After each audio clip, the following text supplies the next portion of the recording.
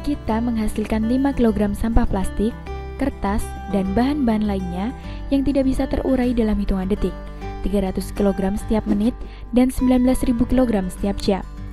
Akibatnya 18 juta ton sampah berakhir di sungai dan laut setiap tahunnya. Permasalahan semakin besar dari waktu ke waktu. Pertanyaannya, siapa yang harus bertanggung jawab atas ini semua? Kita adalah penyebab masalah kita jugalah yang harus bertanggung jawab atas semua masalah tersebut. Program Risako atau Arisan Sampah Sembako dirancang bukan hanya untuk menyelesaikan masalah tersebut. Kami percaya langkah kecil yang kami mulai akan berdampak baik bagi lingkungan. Melalui program Risako dengan latar belakang utama yaitu meningkatnya volume sampah dari tahun ke tahun dan juga banyaknya dampak buruk yang disebabkan oleh sampah, kami menyadari bahwa kebersihan lingkungan hidup adalah tanggung jawab kita bersama. Kami berharap masyarakat mulai bergerak untuk peduli terhadap lingkungannya. Assalamualaikum warahmatullahi wabarakatuh. Salam sejahtera.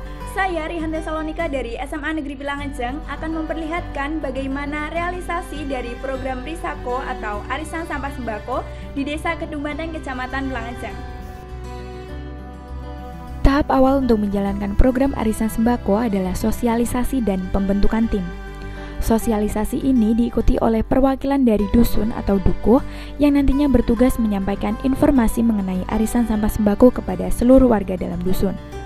Perwakilan ini jugalah yang nantinya akan diamanahi tugas untuk menjadi tim dalam arisan sampah sembako. Selain itu, kita perlu bekerja sama dengan pengumpul barang bekas atau rongsokan. Tujuan dari kerjasama ini adalah untuk mengetahui naik turunnya harga sampah. Harga sampah ini sangat penting karena berpengaruh juga terhadap sampah yang harus dibawa dan dibayarkan oleh warga untuk arisan. Nah, tentunya untuk menjalankan program Risako ini dibutuhkan tempat atau lokasi untuk pengumpulan sampah atau barang bekas.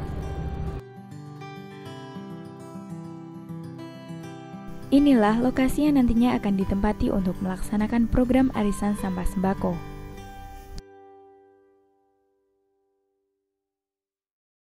Inilah beberapa alat atau barang yang dibutuhkan, serta gambaran tahap-tahap berlangsungnya program arisan sampah sembako.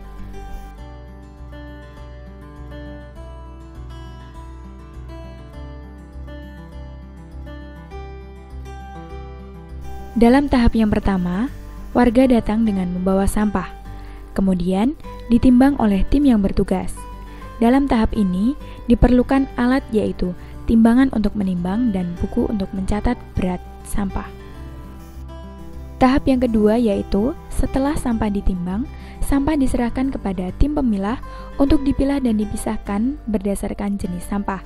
Dalam tahap ini dibutuhkan alat yaitu karung untuk wadah sampah yang telah dipilah dan untuk mempermudah dalam penyetoran kepada pengepul. Tahap yang ketiga yaitu warga yang telah menyetorkan sampah dan ditimbang menuju ke sekretaris untuk dicatat. Dalam tahap ini dibutuhkan buku dan alat tulis untuk mencatat siapa saja warga yang telah menyetorkan sampah. Setelah tahap ketiga, warga penyetor diperbolehkan pulang untuk mengurangi kerumunan yang ada di lokasi arisan sampah.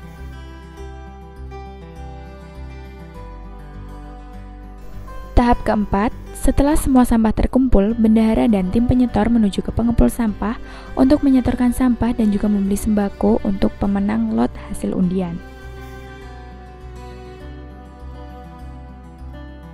Tahap kelima yaitu lot atau undian mulai diundi. Nama yang keluar itulah yang akan mendapatkan sembako. Saat pengundian akan divideo agar anggota arisan percaya serta untuk mencegah kecurangan yang terjadi. Yang terakhir yaitu tahap keenam, dikarenakan warga yang menyetorkan sampah sudah pulang setelah tahap ketiga, perwakilan tim bertugas untuk mengantarkan sembako ke rumah orang yang mendapatkan undiannya. Sekian yang dapat saya sampaikan mengenai gambaran realisasi program Risako Arisan Sampah Sembako. Saya Rihanti Salmika dari SMA Negeri Pelangan pamit undur diri. Terima kasih. Wassalamualaikum warahmatullahi wabarakatuh. Kesadaran tumbuh dari diri sendiri. Terwujudnya lingkungan yang bersih dimulai dari masyarakat yang peduli. Mari bersama kita wujudkan lingkungan yang bersih, aman, dan nyaman dengan mengelola sampah di sekitar kita.